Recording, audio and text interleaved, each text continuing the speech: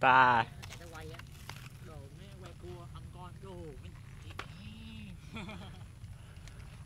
Con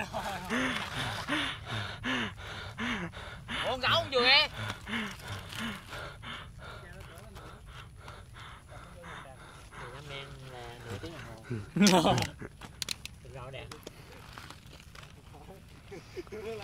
Mày không chịu tao mượn cái gấu Mày không chịu tao mượn cái chừng tí xíu giờ luôn đá vậy mà